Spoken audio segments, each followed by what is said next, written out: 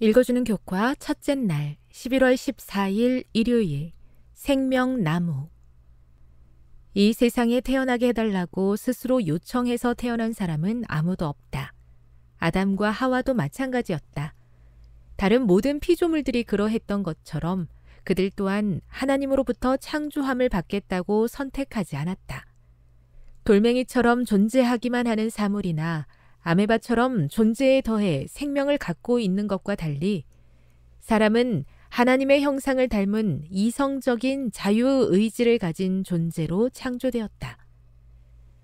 하지만 우리는 우리 스스로 하나님의 형상을 닮은 자유의지를 가진 존재들로 창조되고자 선택하지도 않았다. 그러나 하나님께서 우리에게 허락하시는 선택이 있다. 그것은 바로 그분 안에서 영원한 생명을 가진 존재들로 남아 있기를 선택하는 것이다. 이 선택은 예수님께서 십자가에 달려 돌아가심으로 우리에게 주어진 것이다. 창세기 2장 8절 9절 15에서 17절과 창세기 3장 22절 23절을 읽어보라. 그의 존재와 관련하여 하나님께서 아담에게 어떤 두 가지 선택을 제시하셨는가? 에덴 동산의 중앙에는 생명나무가 자라고 있었는데 그 열매는 생명을 영원히 지속시키는 능력이 있었다. 만일 아담이 하나님께 계속해서 순종하였을 것 같으면 그는 끊임없이 자유롭게 그 나무에 접근하여 영원히 살게 되었을 것이다. 그러나 그가 죄를 범하자 그는 생명나무에 나아갈 길이 끊어져 죽음에 굴복하게 되었다. 너는 흙이니 흙으로 돌아갈 것이니라는 하나님의 선고는 완전한 생명의 파멸을 알려준다.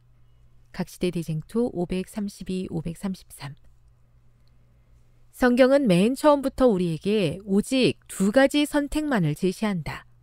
우리가 본래 누리기로 되어 있던 영원한 생명 혹은 우리가 처음 오기 전에 아무것도 아닌 상태로 돌아가는 영원한 죽음이 그것이다. 영원한 생명을 준다고 기록된 생명나무가 성경의 첫 번째 책에 등장했다가 성경의 마지막 책에서 다시 등장하고 있다는 사실도 흥미롭다. 계시록 2장 7절과 계시록 22장 2절, 14절을 읽어보라. 여기서 전하고자 하는 메시지는 이러한 것이 아니겠는가? 우리는 본래 생명나무에 접근할 수 있는 권한을 가지고 있었으나 죄로 인해 그 권한을 잃게 되었다. 하지만 예수님을 통해 이루어진 구원의 계획에 따라 마침내 죄의 문제가 완전하게 해결되면 생명을 선택한 구원받은 자들에게는 처음 계획되었던 바와 같이 생명나무에 접근할 권한이 다시 주어질 것이다. 교훈입니다. 하나님께서는 우리가 생명을 선택함으로 그분 안에서 영원한 생명을 가진 존재들로 남아 있게 되기를 원하신다. 묵상. 인류는 죄로 인해 생명나무에 접근할 수 없게 되었습니다. 그렇다면 우리는 언제 다시 생명나무에 접근할 수 있게 될까요? 적용. 우리 삶에서 일어나는 매일의 선택 속에서 우리는 어떻게 생명 또는 죽음을 선택하고 있습니까? 영감의 교훈입니다. 생명과 사망의 길. 하나님께서는 생명의 길과 사망의 길을 제시하신다. 인간은 그것을 자유롭게 선택할 수 있다. 많은 사람들이 생명을 원하나 아직도 계속하여 넓은 길을 걷고 있다.